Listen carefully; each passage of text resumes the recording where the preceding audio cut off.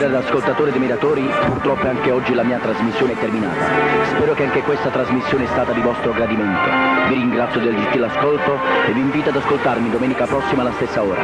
Ancora una volta il vostro Tony De Bruno vi ringrazia e vi augura buona domenica a tutti quanti e don't forget always I love you.